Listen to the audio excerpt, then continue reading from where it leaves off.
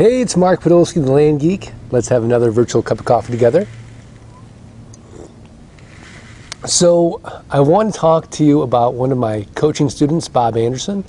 Uh, I just had a hour consult with him last week, and uh, I'm like a proud papa.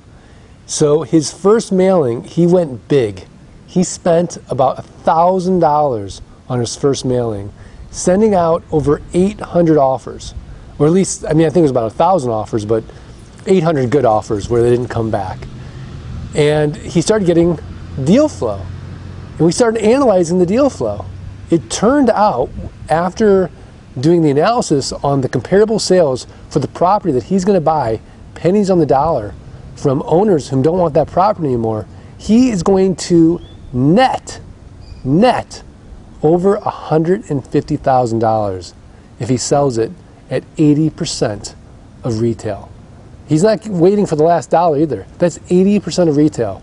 So that's what can happen in this business if all you do is take action, all you do is start sending out offers and going from, you know, where you are now to being Bob Anderson. And on his first letter writing campaign, he's going to make six figures. It's pretty good uh, return on investment on a $1,000 mailing, don't you think?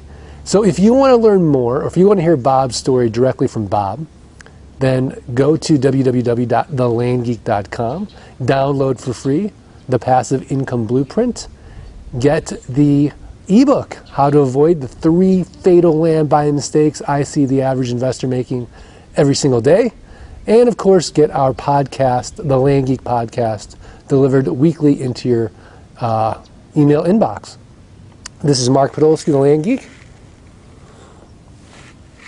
Thanks for having another virtual cup of coffee. I'll see you next time.